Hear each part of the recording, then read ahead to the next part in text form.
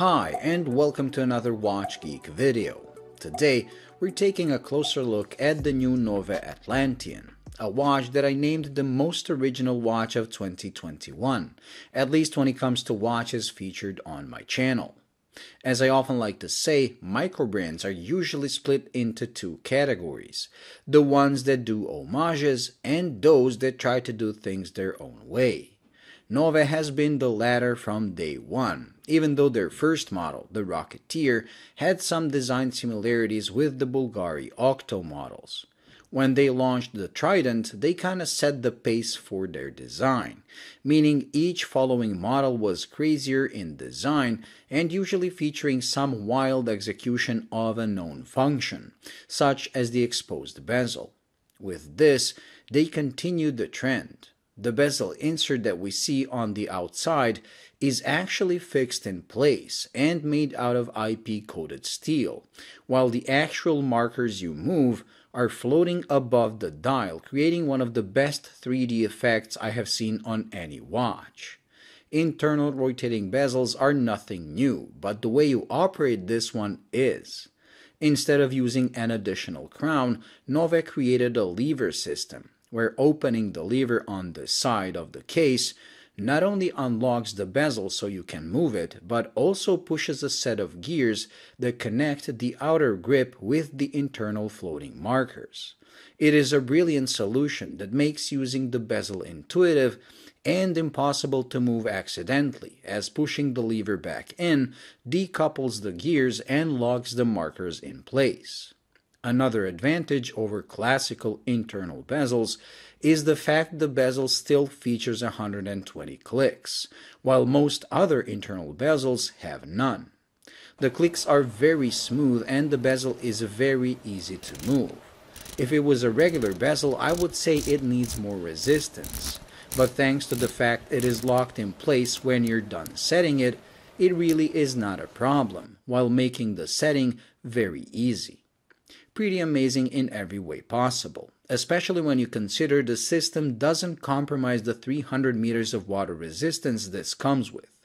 How they manage that, I have no idea, but it is impressive. Another amazing feature is the lume. This thing is so bright it rivals the likes of Seiko Tuna, bringing out the full potential of the 3D markers, and it is a joy to look at and tilt around in the dark. I'm not sure if it is as durable as the tuna, but the initial brightness and the amount of lume makes this easily readable throughout the night. The hands are also pretty thick and very easy to read, despite the colorful dial that changes colors depending on the angle of viewing, while the Cyclops for the date helps make it more readable, although I wish it had a bit stronger magnification. And now we come to the case and bracelet beautifully made and very complex. It has only one downside, and that is the size. This thing is huge in every way possible except the thickness, which is pretty impressive at only 13 millimeters. The reason for the lack of thickness is the movement used. A Swiss-made Ronda R150 that rivals the ETA and Sellita spec-wise while being slightly slimmer with 28,800 bph, 40 hours of power reserve, and both hacking and hand winding, it is everything you would expect from a more premium microbrand movement. And to be honest, it's not that bad looking either. The 50mm diameter and almost 56mm lug to lug might sound intimidating, but thanks to the downward slope of the case and end links, it actually manages to hug my 6.7 inch wrist pretty well. Don't get me wrong, it is still very large, but if you have a smaller wrist and you want to wear it, you can. It will wear comfortably and won't look as ridiculous as the dimensions would suggest. Honestly, it wears better than some 42mm watches that have straight lugs and those stupid T-shaped end links. The clasp is machined, friction operated, and comes with a glide adjustment. While it has everything you might want, I wish the glide system was slightly thicker, as like this, it feels under-engineered when compared to the rest of the watch. With a price of $690 for the silver cased one and 710 for blacked out one, It is a bit expensive for a micro brand, but when you consider the complexity of the bezel mechanism itself and the originality of the design, you start justifying the price. I think Nove is evolving in the right direction, and with this, they made a great base that they should expand on.